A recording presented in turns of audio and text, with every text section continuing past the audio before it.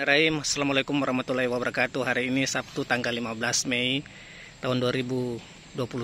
Alhamdulillah kita kedatangan Bapak Amri, eh, Ketua Pemerhati Lingkungan Kota Parepare. Selamat datang Pak di eh, apa namanya?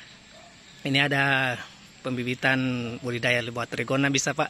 Kita langsung menyaksikan eh, bagaimana teknis budidaya di sini di PT Kibi area pembibitan tanaman hias di PT Kibi. Berarti ini apa namanya? ini? Eh, ini jenis lebat Trigona biroi. Trigona terus tempatnya Memproduksi madu.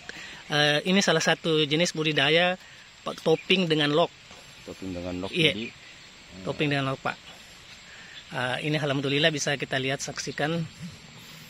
Ini alhamdulillah kita ada uji coba kemarin ini setelah satu bulan lima lima stup dan ini ada perkembangannya cukup bagus.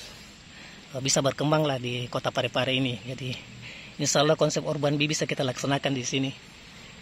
Nah ini oh, iya eh, kantung-kantung madunya sudah alhamdulillah ini berubah memang agak agresif sedikit tapi ini tidak eh, menyengat ya. Tidak Ya, menyengat. cu- iya. Ini jenis ini lebat trigona tidak menyengat cuma dia menggigit-gigit. Ya sama jenis apis. Kalau apis itu adalah menyengat. Ini alhamdulillah produksi madu sudah ada ini.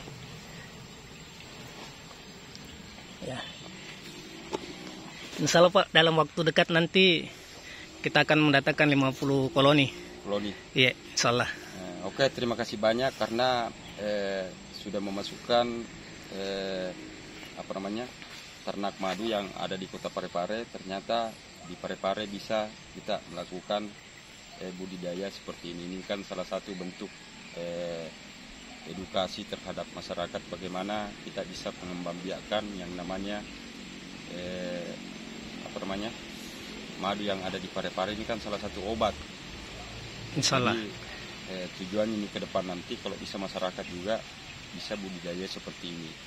Yang namanya eh, apa namanya tahun seperti ini jenisnya apa lagi namanya Pak?